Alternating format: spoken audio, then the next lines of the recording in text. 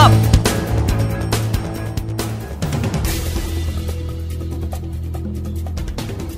19นาฬิกา1นาทีสุนิสายันรัฐบาลกู้เงินชดเชยการขาดดุลงบประมาณ ไม่ใช่ใช้หนี้จากโครงการรับจำนำข้าว 19นาฬิกา14 นาที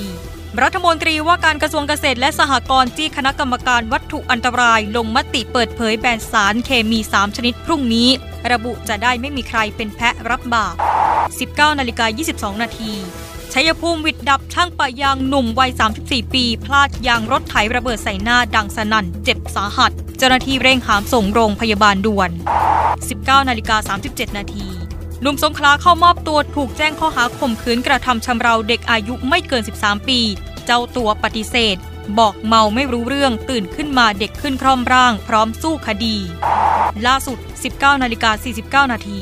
สมาคมเกษตรกรชายแดนบุรพาขอความอนุเคราะห์ช่วยเหลือราคาอ้อยฤดูการผลิตตกต่ำ